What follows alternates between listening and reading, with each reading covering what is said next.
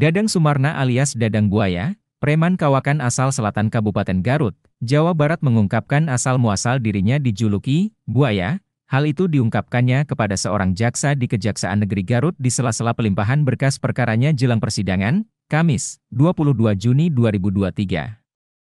Dadang menyebut julukan tersebut disematkan oleh teman-temannya di pesisir pantai selatan Garut sewaktu dirinya masih bekerja sebagai nelayan. Ia menuturkan, keahlian di masa lalunya itu membuatnya dijuluki buaya, lantaran jago menangkap ikan sambil menyelam, Dadang juga menyebut dirinya terkenal lantaran sang ayah memiliki kemampuan khusus dalam mengobati orang, ayahnya itu diketahui sudah meninggal dunia.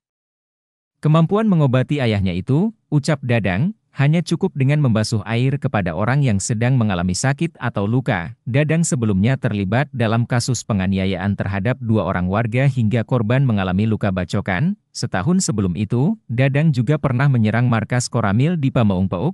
Kini dalam kasus penganiayaan, Dadang bersama Yusuf, satu orang temanya yang berperkara yang sama, diserahkan oleh penyidik Polres Garut, Polda Jabar ke Kejaksaan. Negeri Garut, Kamis, 22 Juni 2023, Siang, Dadang datang dengan pakaian serba putih berpeci hitam dengan celana hitam. Ia tertunduk saat hendak memasuki kantor Kejaksaan Negeri Garut, ia menuturkan. Mulai hari ini Dadang berstatus sebagai tahanan kejaksaan, Dadang juga sudah dipindahkan dari sel tahanan Polres Garut ke Rutan Kelas 2B Garut, ia menjelaskan, dari hasil pemeriksaan sementara oleh tim penuntut umum, Dadang bersama Yusuf dijerat dengan pasal 170 KUHP dan atau pasal 351 ancaman hukuman 9 tahun.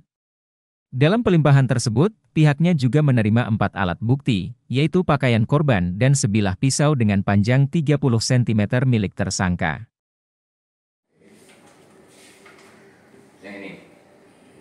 Keterangan dari setiap halaman itu bahwa itu tidak ada keraguan, tidak ada kesalahan atau kekeliruan. Ya, baik, saya coba periksa identitas. Lahir di Garut tanggal 22 Desember 1975, jenis kelamin laki-laki agama Islam, kerjaan layan, betul?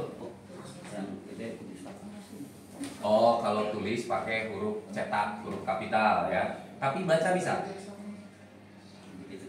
Sedikit-sedikit. Kalau saudara bacanya sedikit-sedikit dari sekian lembar BAP ini bisa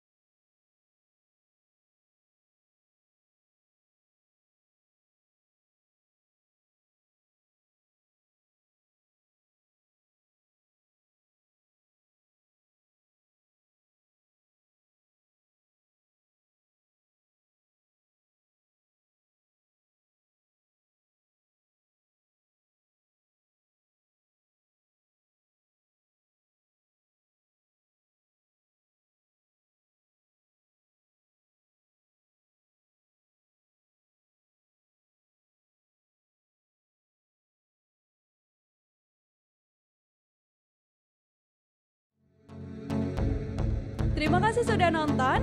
Jangan lupa like, subscribe, dan share ya.